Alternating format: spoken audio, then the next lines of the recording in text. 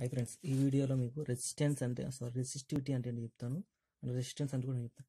Resistance అంటే nothing but ఒక element అనమాట ఒక ఒక డివైస్ లాంటిది అనమాట మనం. ఇది కరెంట్ని ఫ్లోను అపోజ్ చేస్తుంది ఆపేస్తుంది అనమాట కరెంట్ ఫ్లో ఫ్లో అవుతుందని కూడా దాన్ని తగ్గిస్తుంది లేకపోతే స్టాప్ చేస్తుంది మొత్తాన్ని. ఇది మనం తర్వాత మాట్లాడుకుందాం. సో మామూలుగా ఆర్ అండ్ రెసిస్టెన్స్ అనగానే V is equal to V by I అంటారు. కానీ ఇది రైటే కానీ ఇది ఓమ్స్లా ప్రకారం. ఓమ్స్ ప్రకారం ఇది రైటే కానీ కానీ ఆర్ అంటే ఇది కాదు. సో మనం ఆర్ గురించి తెలుసుకునే ముందు అంటే రెస్టివిటీ అంటే తెలుసుకుందాం. రెస్టివిటీ అంటే ఇప్పుడు సిల్వర్ ఒక ప్రాపర్టీ అనమాట రెసిస్టివిటీ అంటే నథింగ్ బట్ రెసిస్టివిటీ అంటే ఒక ప్రాపర్టీ. అది సిల్వర్ ఒక రకం ఉంటుంది కాకపోతే రెసిస్టివిటీ అంటే నథింగ్ బట్ ఒక ప్రాపర్టీ అని చెప్పాను ప్రాపర్టీ అంటే నథింగ్ బట్ ఒక గుణం అనమాట గుణం ప్రతి ఒక్కరికి ఒక గుణం ఉంటుంది. సో ఇది మంచివాడు ఇది చెడ్డవాడు అన్నట్టుగానే. సో సిల్వర్ అనేది ఉంటుంది. సిల్వర్ కాపర్ గోల్డ్ అల్యూమినియం ఇవన్నీ మెటల్సే మెటల్స్ ప్రతిదానికి ఒక రెసిస్టివిటీ ఉంటుంది. సిల్వర్ అనేది ఈజీగా తాగుతుంది. సో కాపర్ ఆల్సో ఈజీగా సాగుతుంది అల్యూమినియం ఈజీగా సాగుతుంది కానీ ఐరన్ అలా కాదు ఈజీగా సాగదు.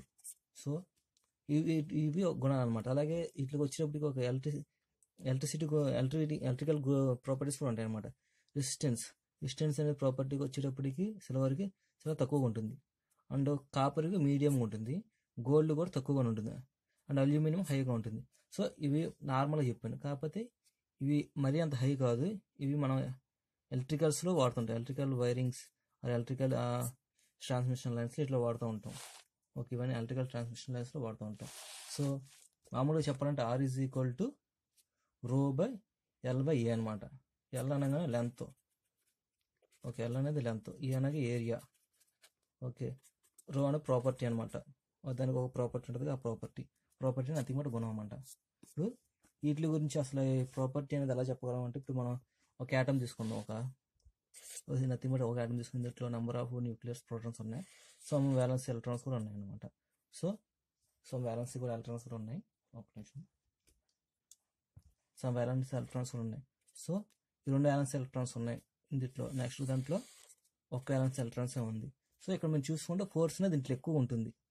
దీని దీన్ని చూసుకుంటే ఫోర్స్ అనేది ఎక్కువ ఉంటుంది. అంటే ఇవి బయటకు వెళ్ళడం చాలా కష్టం. కానీ ఇక్కడ నుంచి డిస్టెన్స్ చూసినా ఫోర్స్ చూసినా చాలా తక్కువగా ఉంటుంది. అంటే ఇవి దీని సైడ్ అట్రాక్ట్ చేస్తాయి. సో ఇవన్నీ దీని సైడ్ అట్రాక్ట్ చేస్తుంటాయి అనమాట ఇలాగా సో ఇవేంటంటే ఎప్పుడైతే మనం సమ్ ఎనర్జీ దిపంగానే ఎలక్ట్రాన్ అనేది ఫ్రీగా బయటకు వచ్చేస్తుంది.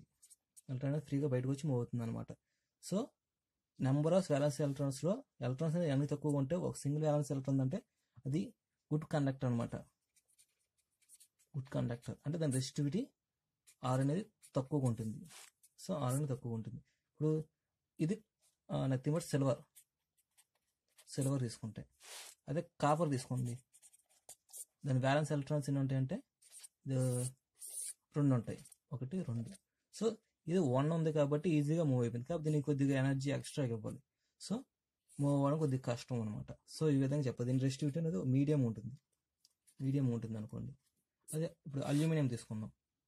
అల్యూమినియంకి ఏంటంటే nothing but aluminium okay. Aluminium తీసుకున్నట్టయితే దీనికి మూడు ఉంటాయి అనుకోండి. అంటే దీంట్లో కరెంట్ ఫ్లో అనేది అంటే current flow nothing but Q కదా. Q but nothing but charge flow of electrons so flow of electrons ఇందులో మూడు ఉంటాయి. సో ఇందులో కరెంట్ ఫ్లో అనేది కొద్దిగా తక్కువ ఉంటుంది. సో కరెంట్ ఫ్లో తక్కువ ఉందంటే రెసిస్టివిటీ ఎక్కువ ఉందని అర్థం. R R is I is equal to inversely proportional to R అనుకోండి. అంటే రెసిస్టివిటీ ఎక్కువ ఉందంటే కరెంట్ ఎక్కువ ఉందంటే రెసిస్టివిటీ తక్కువ వెళ్తున్నారు అనమాట సో ఆర్ ఎక్కువ ఉందంటే రిస్ట్ కరెంట్ అనేది తక్కువ ఫ్లో అవుతుంది.